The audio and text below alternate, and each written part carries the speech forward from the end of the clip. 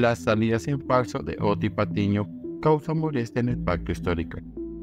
Ya hay quejas ante Petro. El alto comisionado para la paz, Oti Patiño, recibió fuertes críticas por sus más recientes salidas en falso al pedir que se investigue la muerte en combates de alias Hermes, un cabecilla de la segunda Marquetal. Semana conoció que el descontento llegó hasta el pacto histórico.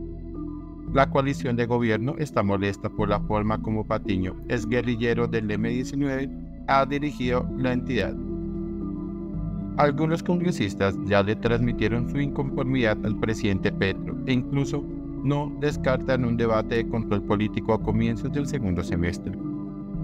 Como si fuera poco, sus propios compañeros lo han cuestionado. José Pérez Lapaurí, que forma parte de la mesa de diálogo con el ENN, calificó la reciente declaración de Patiño como una ingenuidad innecesaria.